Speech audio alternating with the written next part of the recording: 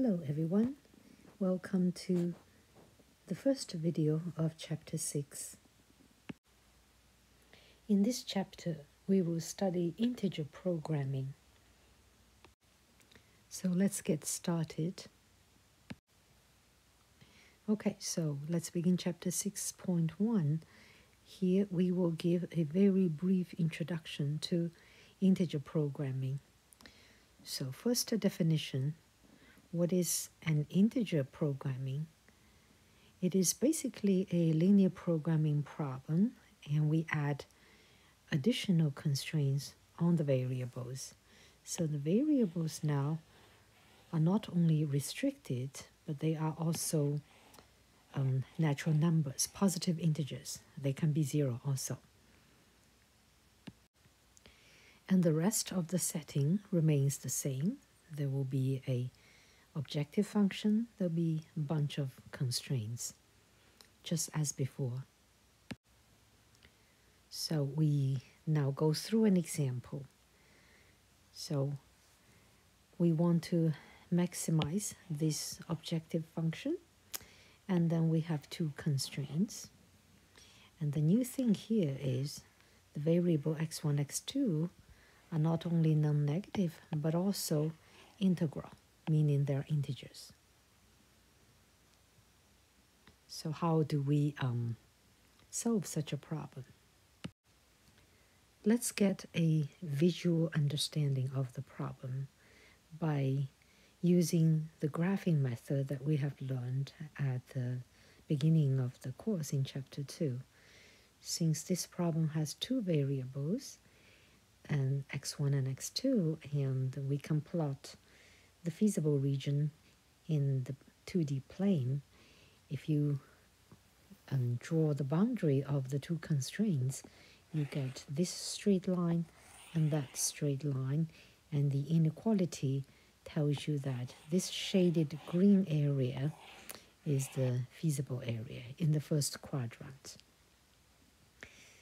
And uh, neglecting the integral restriction for the time being, if you solve that problem, then you can look at the um, objective function and then you see that the optimal point is obtained at this vertex that's in red. Okay, so at the same time, in this graph, I also plot the grid, like um, at 1, 2, 3, 4, all the integer positions, I draw a kind of underlying grid in x and in x1 and x2 and uh, the point where is a black dot these are the points where the coordinate is integer. Like this one is 1 1 and this will be 2 1 this will be 3 1 and so on and so forth. Okay? So then it's not difficult to see that the optimal value right here does not land on an integer uh, point. And in fact, if we do not require x1, x2 to be integral, then this optimal solution has the coordinate 9.2 and 2.4. So does that information help us to locate the optimal points, um, op optimal integral solution? So how would you suggest to probably to check? So one might be tempted to consider the four nearest points that are next to this uh, optimal solution in this grid. And then we see the four nearest one are these four, where is 9 and 2, and 9 and 3, that will be um, and 9 and 2, 9 and 3, and then 10, 2, 10, 3, that will be this point and that point. And we see from the graph that none of these are actually in the feasible region. They are all outside. So this hints to us that this problem is probably more complicated and we definitely need to design some new algorithm.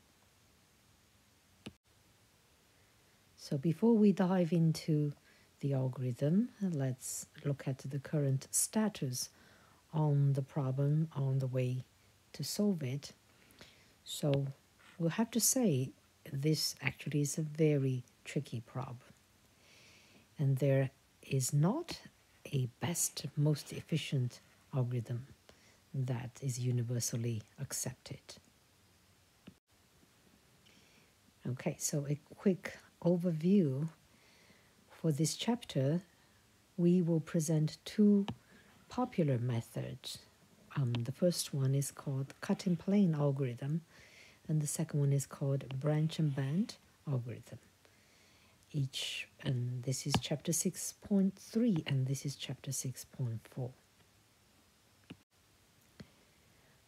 Okay, so um, if you want to have um, more examples, modeling examples that will end up in integer programming, um, you should read chapter 6.2. Just read a couple of examples there.